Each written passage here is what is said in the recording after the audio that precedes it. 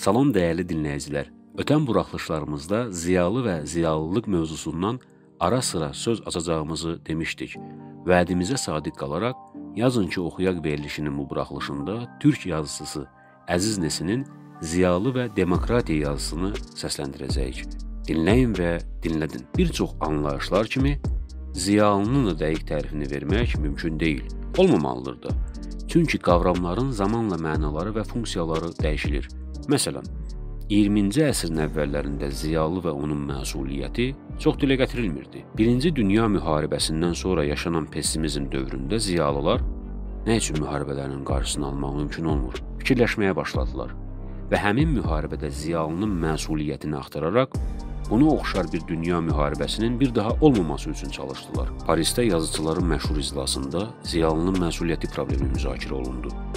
Amma ziyalıların və xüsusilə yazıçıların bütün cəhdlərinə baxmayaraq 2-ci Dünya müharibəsi oldu və ziyalının məsuliyyəti məsələsi əvvəlkindən də çox qabardı.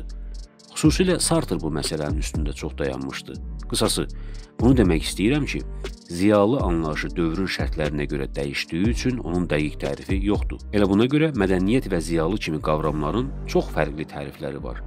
Hər ziyalı digər ictimai qavramlarda olduğu kimi Bu məsələdə də özünə görə ziyalı qavramının tərifini verib.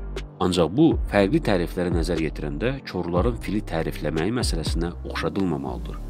Çünki bu fərqli təriflər ziyalının tərifi yox, ziyalının keyfiyyətləridir. Ziyalıya xas keyfiyyətlər olduğu üçün də hamısı doğrudur. Mən də həmçinin ziyalının tərifini verə bilməsəm də onun keyfiyyətlərini sadalaya bilərəm. Məsuliyyəti və borcu. Ziyalı yaxın çevrəsindən başlayaraq səs dalğaları kimi get-gedə genişlənən kürələr şəklində bütün dünyada məsuliyyətli və bu məsuliyyətinin fərqində olan adamdır. Ziyalı heç bir hadisə barədə mənə nə, nəyimə lazımdır deyə bilməyən, məsuliyyətinin fərqində olan, həmçinin fikrini deyən adamdır. Ziyalı illah diplomlu olmaq yox, insan olmaq deməkdir.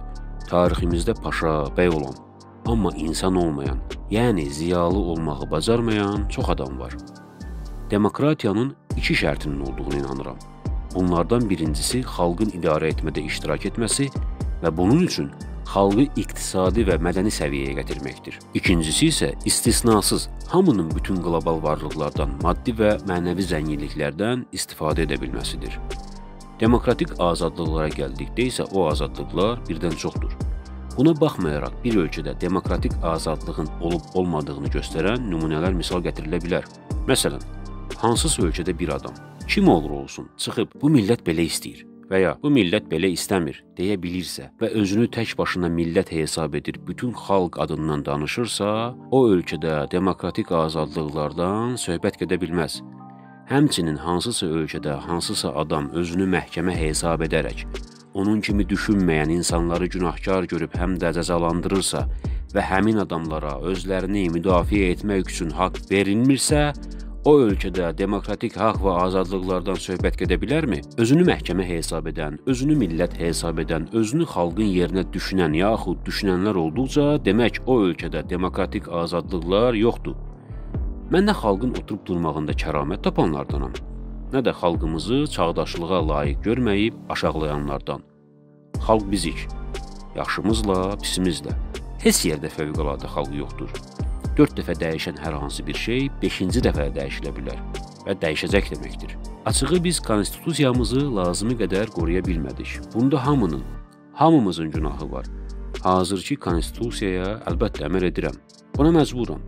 Ancaq gerçək demokratik sistemə uyğun olmadığını düşündüyüm üçün onun dəyişilməsini istəyirəm. Zorbalıq edilmədən, qanunla tez bir zamanda dəyişilməyini arzulayıram. Fərdlər konstitusiyaya müdaxilə edə bilər Bəzi rejimlərdə ola bilər. Məsələn, şah rejimində, diktaturada, faşist idarə etmələrdə bir adam konstitusiyanı istədiyi kimi dəyişir, ona müdaxilə edib pozur. Çünki onlar nə istəsə, konstitusiya odur. Dedikləri hər şey qaydadır.